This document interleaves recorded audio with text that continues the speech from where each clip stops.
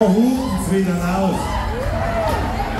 Jetzt hier oben auf der Leopoldstraße in Bayern